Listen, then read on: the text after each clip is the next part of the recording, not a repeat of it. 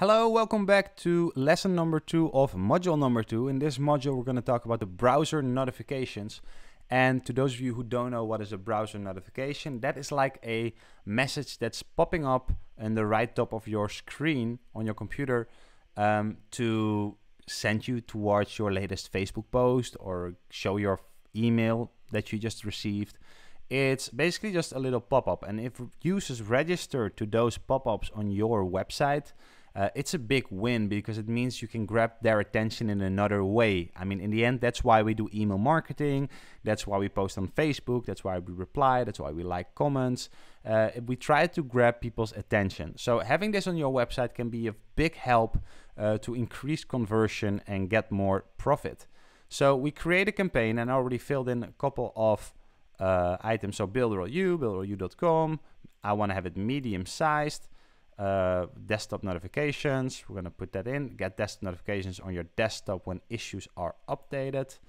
Um, uh, get information when the latest course hits the market. And I will choose an image. I'll choose the, let me check if we have it here. Yes, I'll choose our little logo and accept label, enable notifications. That means that is the button like we have done here. It goes like that. Uh, decline label. No, we don't want the decline label. Okay, done. Campaign added. So now the campaign is added. We can check here the subscribers.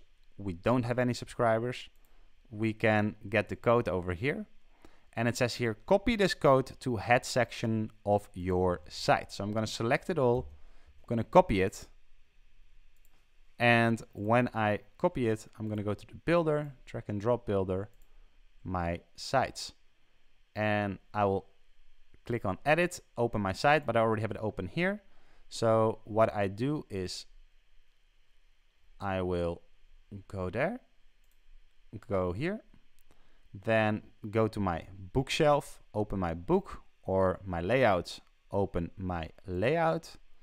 And then in this layout, we have all these pages. Now what you can do is you can go into home and make it specifically for home.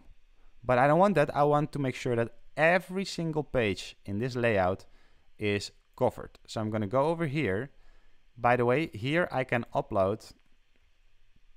I'm not sure this is going to work.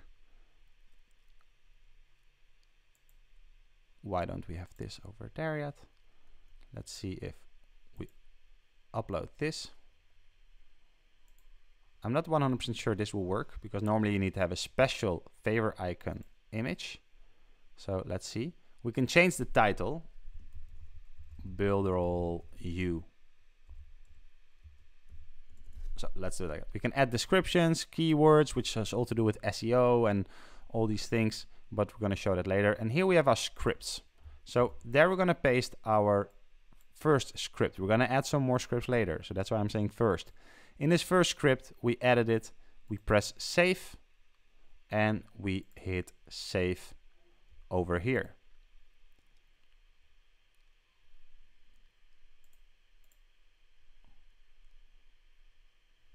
All changes are saved. So let's go back to our builder. Let's go to our website. And normally we should get a message that pops up. Now you're gonna have to test this, you're gonna have to tweak it, you're gonna have to make sure everything works well and is nice. But you get the ID, this is the message that will pop up. I'm gonna have to make a smaller image, a different quality image because this is way too pixely. Uh, but this is just for you to show. So I'm gonna press enable notifications. And normally now it's enabled. So what is this doing now? If I go here and I go to apps, I go to browser notifications. Normally, if I check on the subscribers, it says one subscriber. That's awesome. So then I'm going to say push notification. And I am going to say, I can either send later, make a schedule, but I'm going to say here, go to TVE community this is my community I am building to help fellow vegans, because I'm a vegan, uh, to grow their businesses. So I say, uh, go now to grow your sustainable business.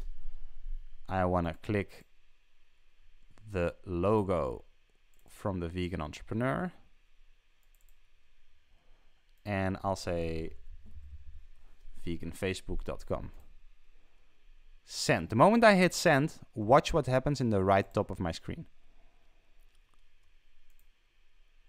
Bam, there it goes. So I can click on that. And as you can see, you will land on the Facebook page that I'm currently running.